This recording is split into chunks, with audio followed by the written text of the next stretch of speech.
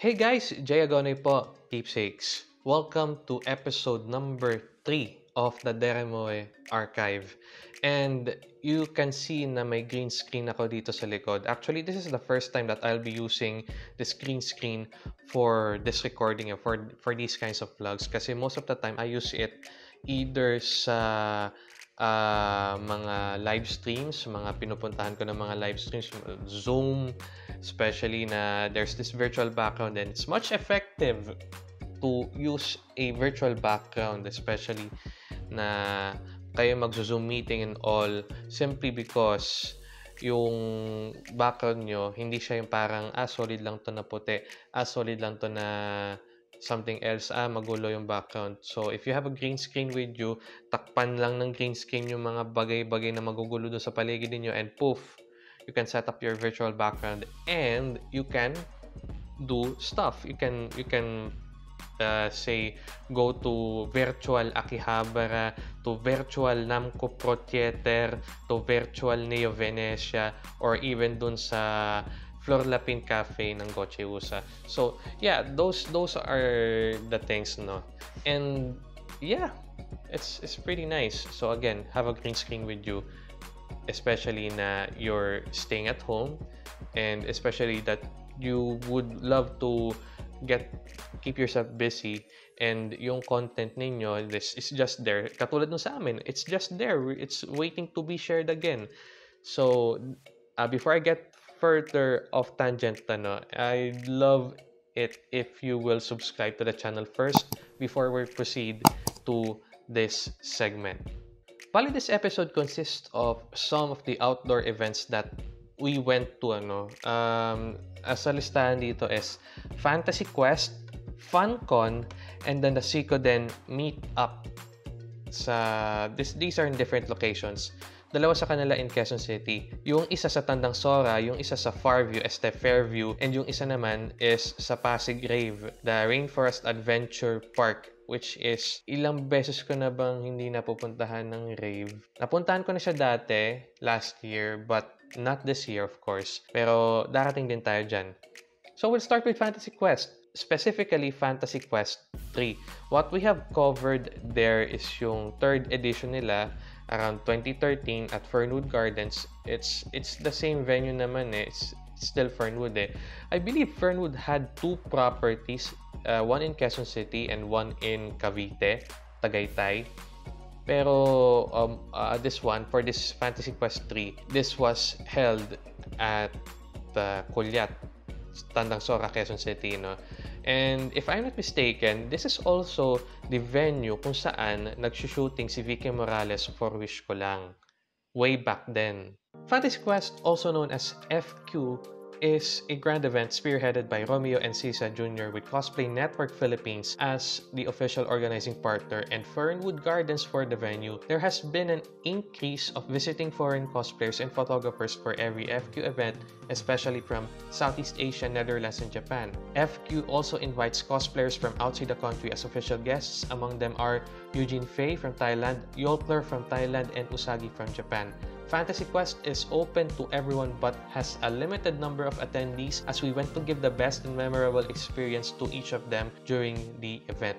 Alam nyo, eh, totoo talaga itong sinasabi nila na uh, they want to give the best and memorable experience to each of them during the event. Kahit nasabihin natin na itong event na to, it's not held that annually.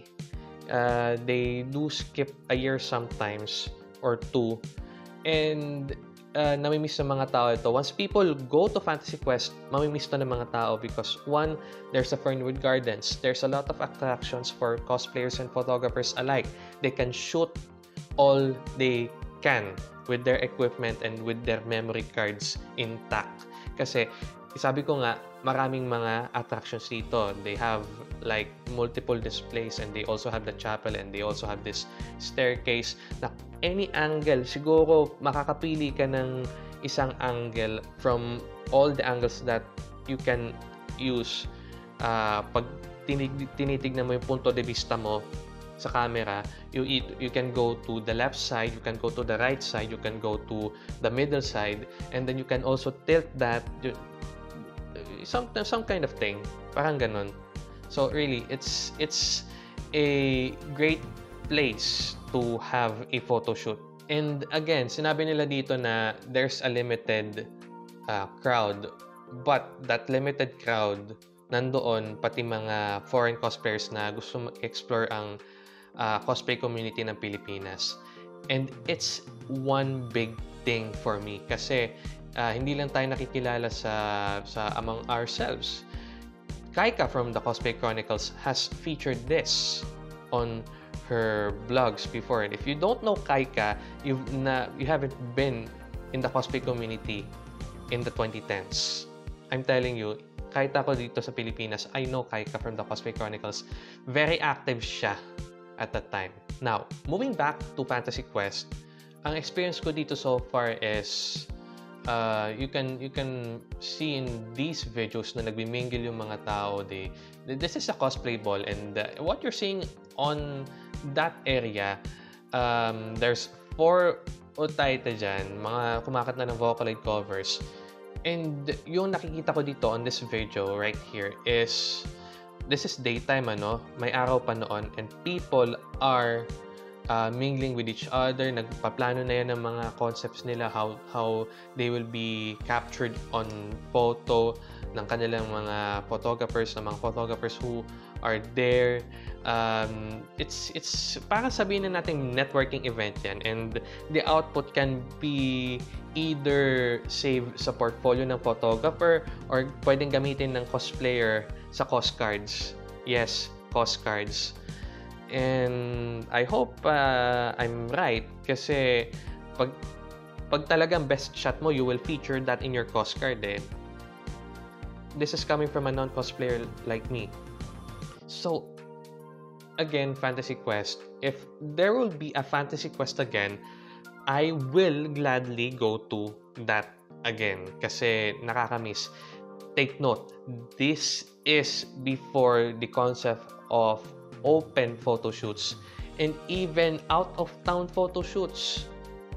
Ilan lang, siguro kung merong gumagawa ng out-of-town photo shoot sa kapanahunan ni Fantasy Quest, ilan lang pa lang yun. This one here is an event with four editions that captured not just the cosplayer, cosplaying audience from the metro, but also some from overseas. Since we're at it, we have this clip from our former podcast, ano, it's called the Roundtable Otakus. Nothing great will ever be achieved without a great man. And men are great only if they are determined to do so. Usagi, Zel, honored guests from Malaysia, Singapore, Indonesia, VIP, ladies and gentlemen, good day and welcome. On average, the Philippine cosplay community has about three conventions in a month, with attendees ranging from a hundred of tens of thousands. Age doesn't matter. Now, as we often see cosplayers as young as kindergarten to people, old enough to be my dad, with that said, one can deny that our community is definitely growing. But with growth comes responsibility as well. The Fantasy Quest project is our answer to that. As an org of dedicated enthusiasts, our goal has always been this, making a multi, sorry, making a difference. Achieving unity in our community seems to be a daunting task. Truth to be told, it actually is nothing a short of miracle can help us now, right?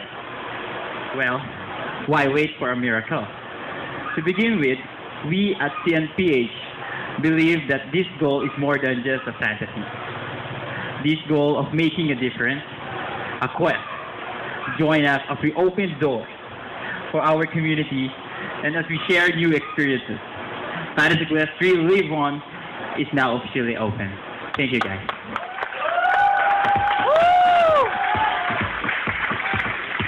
Okay, so next on the list, FunCon. This was an event at Fairview, Quezon City. Ano? And uh, siguro hanapin ko na rin yung uh, video ko nito. This was somewhere around 2014. Tama, 2014 to. No? And itong event na to, this was held in another outdoor venue. Well, it's not technically outdoor pero walang aircon eh. So I consider every ve- venue na walang aircon is outdoor venue. And you know how hot uh, how hot uh, the climate in the Philippines is. Ito pa yung time na parang nagpe-pretend cinematic ako. And this is, uh, you can see on the left, uh, that one earlier was Marlo from Anime Corner Group Pilipinas or we say Anime Corner Philippines. Anime Corner has, uh, to Marlo, has been a partner na, na one of uh, close friends ko na.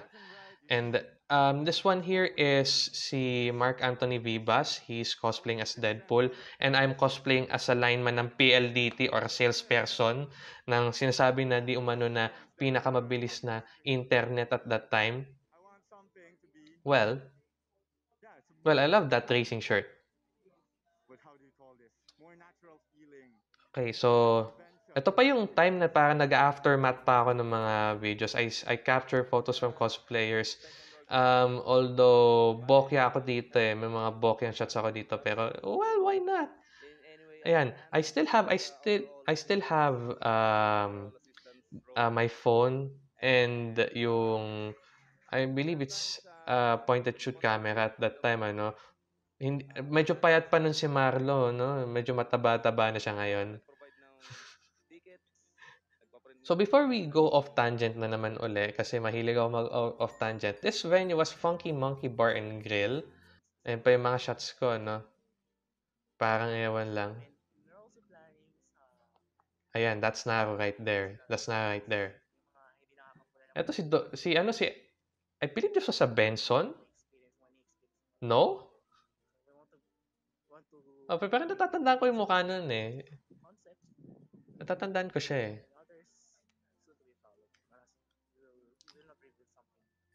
So, this is just me reacting to stuff, no? Ayan, uh, that one right there on the black shirt was King, and then, um, ayun, the one holding that huge camera right there is Arcady Mac. He's with us and he's still with us. Forgot who this is eh. Tingnan mo, bokya pa ako sa ano yan, no? Ang gamit ko lang yata niyan is ano yung parang um, uh, ganito pa yata ang hawak ko niyan eh. Ganito pa hawak ko ng camera. Nice. And yes, at that time, uso na po ang baby metal.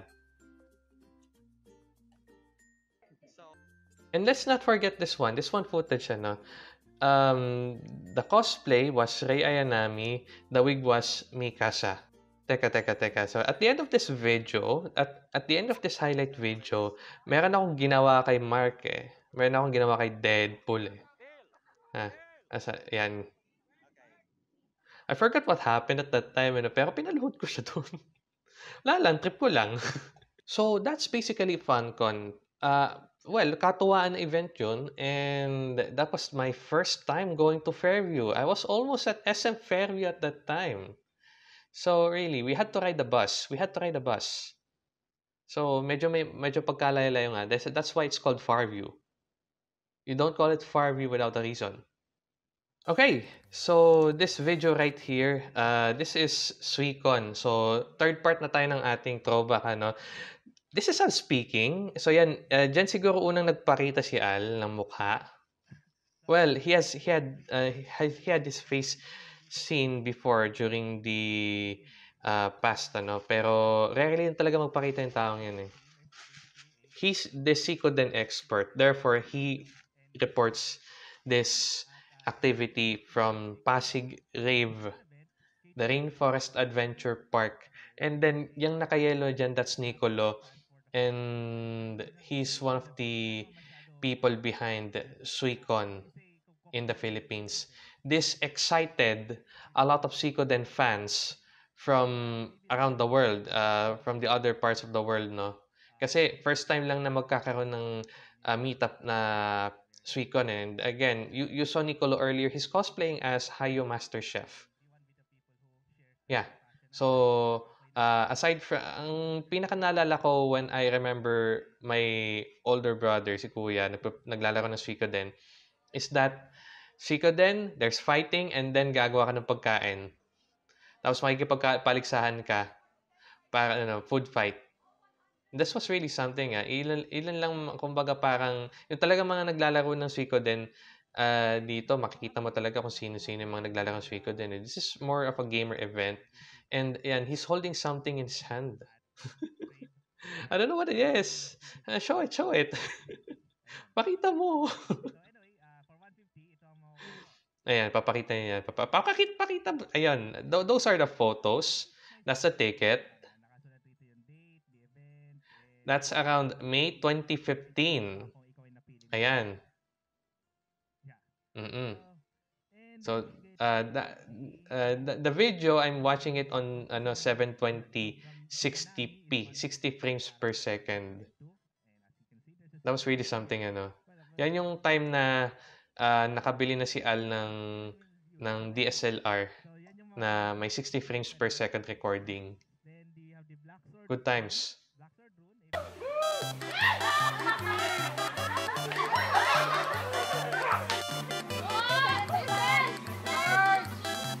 Ah!